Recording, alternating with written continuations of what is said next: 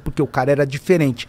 Eu era tão fã do Denner, cara, que quando eu assinei o meu segundo contrato com a portuguesa, que, a- que aí a portuguesa me deu umas luvas, que na época davam luvas, luvas assim, é um. É Pagar um adiantado. um né? adiantado.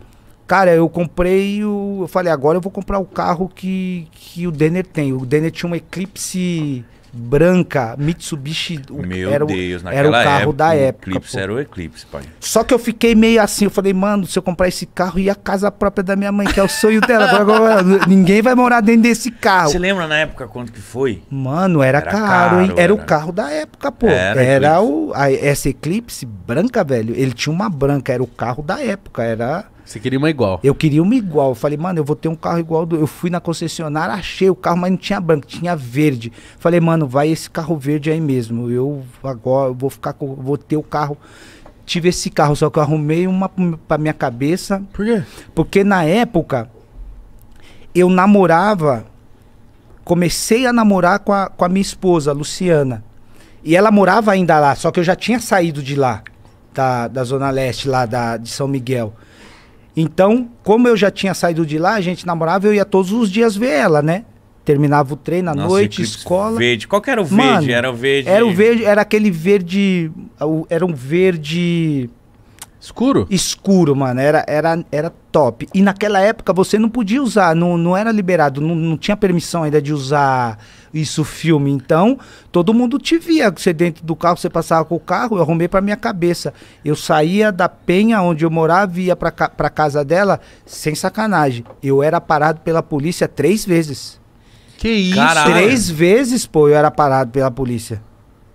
Se eu, se eu não era parado, os caras me seguiam. Quando eu parava em frente da casa dela, os caras mão pra cabeça, sai, é, documento, é, da onde você é, de quem é o carro. De quem é o carro? De quem é o carro. Aí eu, não, não, não, não sei o quê.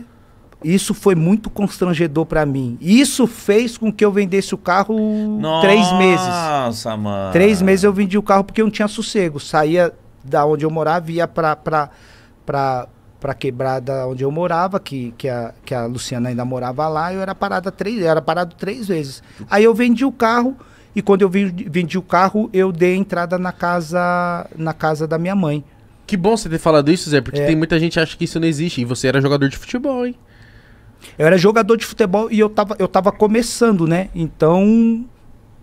Então, quando eles, a polícia na, naquela época me parava e, e, e e fazia os questionamentos, é, eu tava começando a minha carreira, não era conhecido, não, não, não sabia o que eu, que eu era. E, e isso pra mim era muito constrangedor, né? Você. Não, isso é racismo, né, mano? É, você você não poder ter um carro um carro bom ou um carro que você sonha, você não poder ter ele porque você é preto e, a- e, e eles quando me paravam achavam que eu tava com o carro porque o carro foi roubado. E muitas pessoas me falam, perguntam pra mim, poxa Zé, você morou 14 anos fora do Brasil, 12 na Alemanha, um ano na Espanha, um ano no Catar. Você já sofreu, você já sofreu racismo lá fora? Lá fora não, não sofri, não sofri, não sofri racismo nenhum. Nem, nem, nem discriminação, nem, nem preconceito por ser estrangeiro, né? Uhum. por ter jogado em três clubes eh, na Alemanha, mas vivi isso dentro do meu dentro do meu país. Eu, eu vivi isso e, e isso pra mim foi muito triste Caralho, imagina ter que vender um carro Um por causa carro- disso, cara. Carro do seu sonho. por causa do meu sonho. É, Caralho, que triste. Isso é muito triste. é triste, é triste. E o, o- mais triste ainda é que passaram-se 20 anos e a gente ainda E tá igual. Tá continua igual. com, a- com as mesmas coisas, né? Eu, eu, eu costumo dizer que o racismo é um câncer que vai ser difícil, hein? A- Achar o, a cura. Vai ser difícil achar a cura. Porque por mais que a gente. Eu levanto a bandeira, eu sou ativo contra né, o preconceito.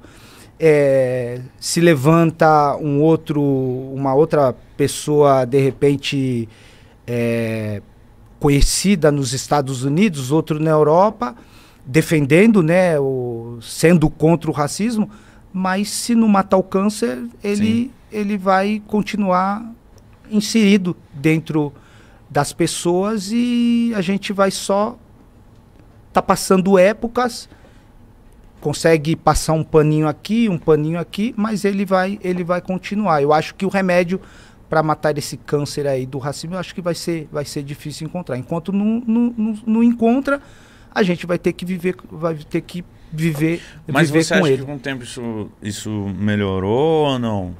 Eu, o, esses, desde, desde a época do, do seu eclipse até hoje, você acha que o preconceito racismo ele aumentou? Eu acho que ele... melhorou com o É. Zé Roberto por ele ser o Zé Roberto. É, não, então é.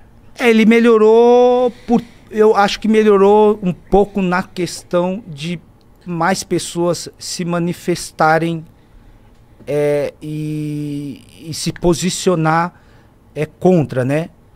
E eu acho que isso acabou despertando um pouco a questão de as autoridades tentar punir ou tentar é, é, minimizar eu acho que mais nessa questão. Agora, fora isso, acho que continua, continua, continua a mesma A coisa. mesma coisa. né? Mesma coisa. Triste.